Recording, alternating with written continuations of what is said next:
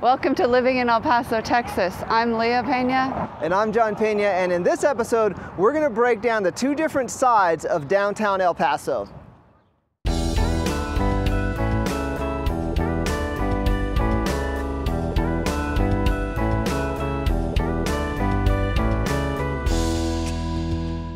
Hi, thank you so much for checking out the YouTube channel. In this episode, we're gonna break down what downtown is like because a lot of people ask me, what is the El Paso downtown like? And the honest answer is that there's kind of two sides to the downtown. Where we are right now is San Jacinto Plaza. We're on kind of the front side of the downtown, and this area is awesome. We've got the plaza here, which is beautiful. The West Star building was just built. We've got the uh, stadium over here. They're building the Children's Museum. There's a lot of great restaurants. Like the front side of downtown is, is pretty beautiful and pretty happening.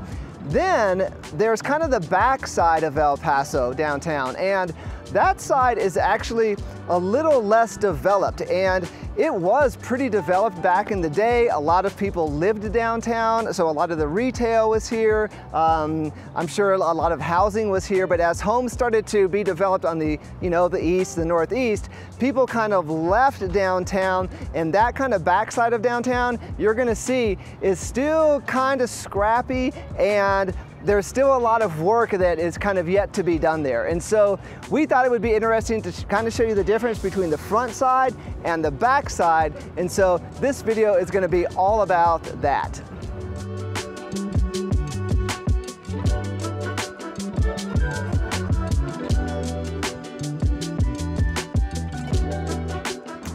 Behind me is the Downtown Public Library. It's in the midst of a facelift this is what our taxes go to in El Paso, and, and we're happy to support this type of development in downtown. Absolutely, and it's a good example of kind of the front side of, of our downtown. Hopefully, the back side starts to get a lot of this going too.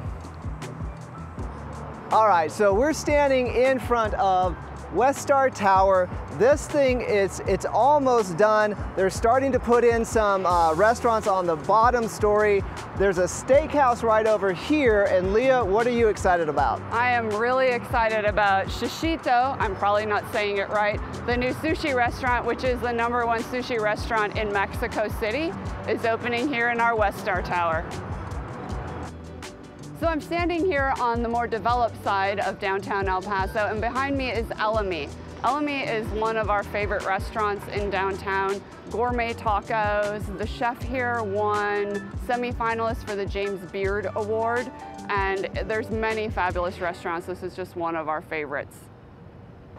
Okay, so now I'm kind of on this other side of the downtown. So maybe it's fair to kind of call it the less developed side of downtown because there's nothing derogatory or bad about it. It's just, uh, it's not as developed as kind of the front side is. But as you can see, there are some meaningful buildings back here. I'm standing in front of the courthouse. Um, I mean, this, this building gets a lot of use. There's uh, a police station right behind me. And so there's still a lot of development here. It's just not so much in the nature of like retail and like fancy new restaurants or housing options and things like that. But I do suspect that might be about to change.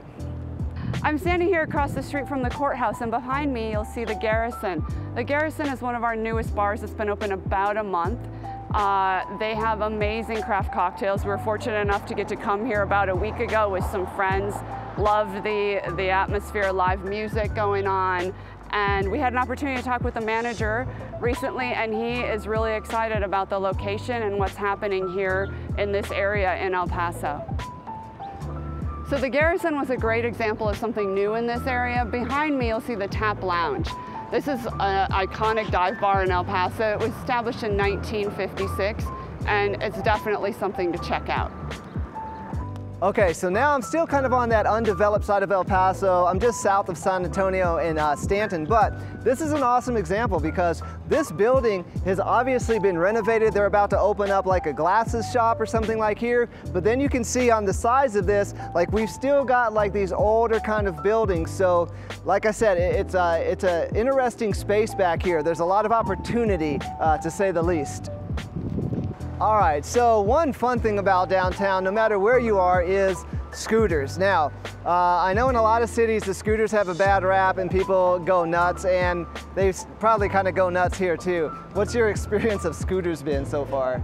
Well, there was a, quite a crash with a bicycle and a scooter one night when we were having dinner uh, in downtown. But otherwise, people are pretty respectful with the scooters and they ride them on the sidewalks, the streets, all over. Yeah, for sure. Um, the other thing that, that I like to think about is we read somewhere that um, the most common injury you're gonna get from a scooter is you're gonna, you're gonna like fall into a curb and break your collarbone. So how well do you think you'll do at riding on a scooter, Leah? Well, so far we've not ridden the scooters because John is sure that I will break my collarbone or something else. it's highly likely that if Leah rides a scooter, there's gonna be a broken collarbone.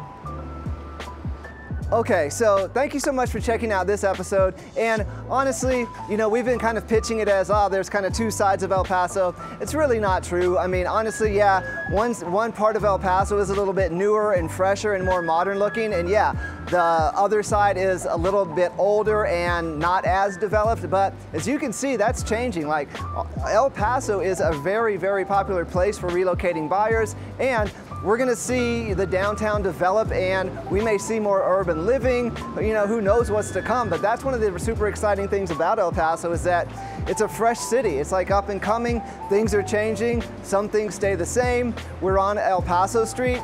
This street has been here since 1859 when the city was originally surveyed and platted. Um, as you can see, there's lots of these great little mercados here, um, great prices, great friendly people.